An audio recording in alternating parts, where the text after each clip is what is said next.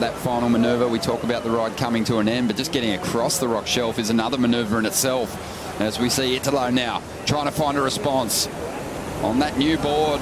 Drives up into the section. Big backhand float. Huge floating re-entry to finish this wave off. He's going to hang on for the finish. Wow, that was incredible. You watch the difference in the finish of Italo's wave.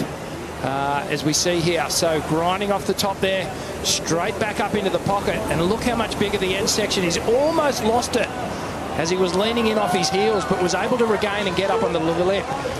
And uh, gets that finish there. Amazing stuff.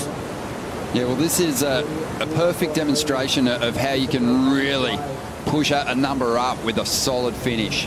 And Italo was kind of gifted with that opportunity at the end of this ride. Filipe didn't get that same chance to attack a big end section. His ride tapered off, but the board change, Rich, it was to go to a smaller fin, and it worked well for him.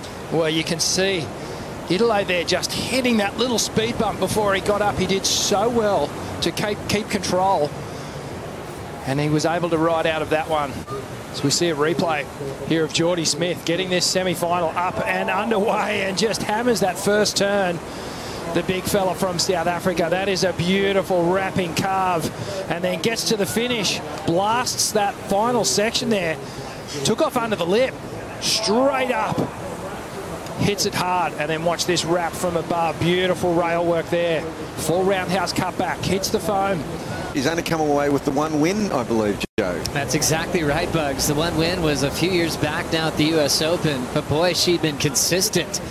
As we look at Tati, off the bottom, clean open wall. There's the first wrap.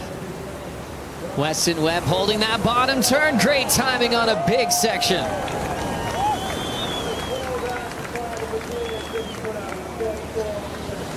Tatiana Weston Webb's timing has been impeccable. And uh, Tatiana, she's going to be very, very pleased with this first ride, uh, well, this first scoring ride, Joe.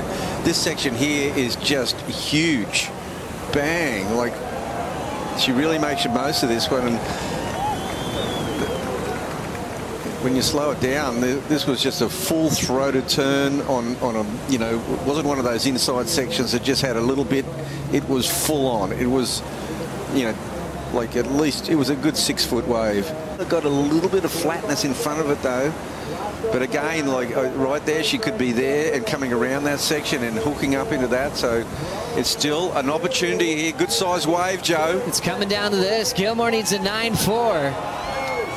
Top turn wrap to start. She needs something real big, a drawn out cutty to finish things off showing off that perfect style and approach. Yep. But needing the best number of the heat, a 9-4 with 15 seconds, Bug. Super critical. And then Jordy behind Filipe.